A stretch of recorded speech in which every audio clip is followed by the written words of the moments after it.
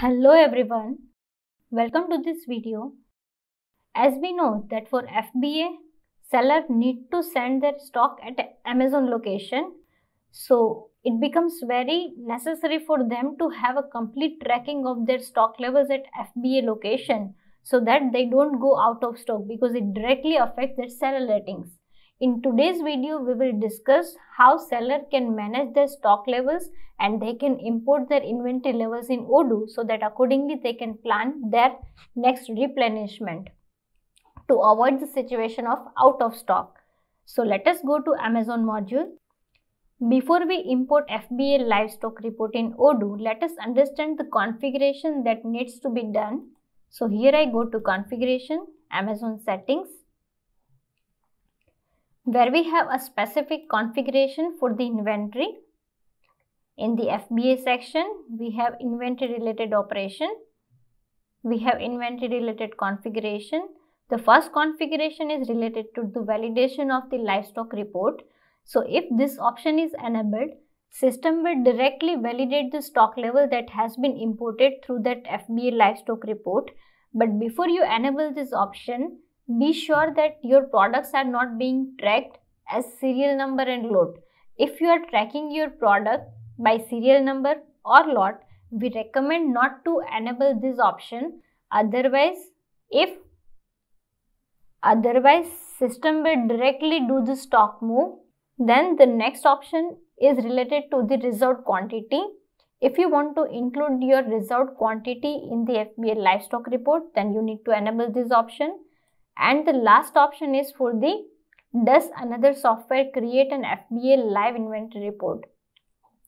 Sometimes seller might be using multiple applications and solution to import their inventory levels in the respective applications.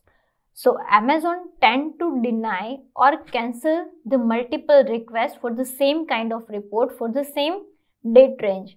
So in order to avoid such cancellation issue, we have added this feature. So if you have enabled this feature, then system will not request any new report from Amazon for the FBA livestock. Rather, it will fetch the already generated report from Amazon. So this option is to be enabled when user is using multiple application to request the same kind of report from Amazon. Now if you go to marketplace level configuration, here we have set up FBA warehouse. So whatever inventory levels you have in your Amazon warehouse, system will fetch the livestock data to this specific warehouse and to this specific warehouse specific location is associated and in that location system will update your livestock report.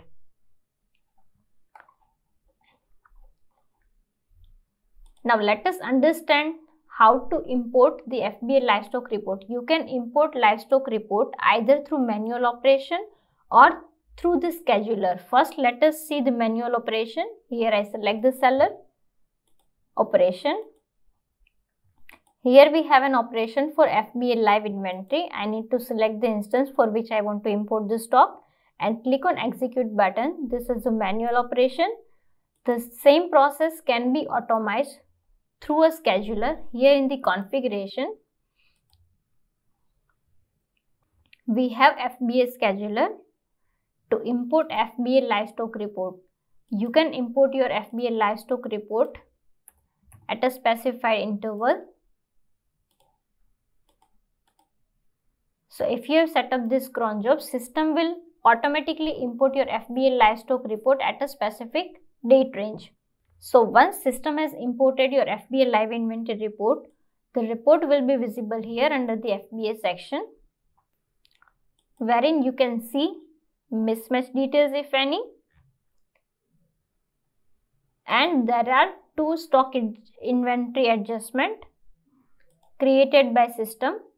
So first one is for the sellable and the unsellable.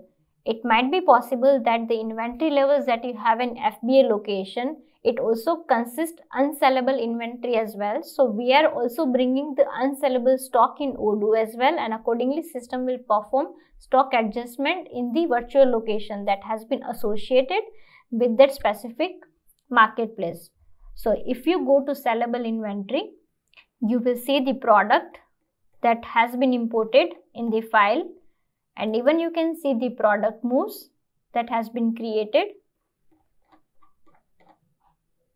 This is the product move and you can also print a count sheet which will help you to understand the inventory adjustment that has been performed by the system. So the same thing goes for unsellable location as well.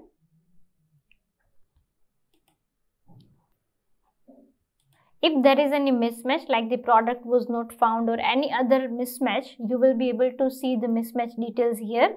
Accordingly, you can take your uh, corrective actions and reprocess the report. Right?